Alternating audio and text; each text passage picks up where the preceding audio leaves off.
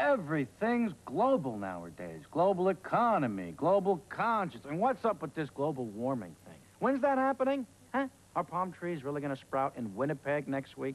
Perhaps I should buy my thong bikini today.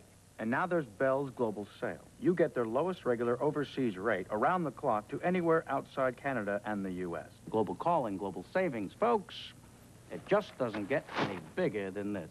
Now, where was the sale on thong bikinis?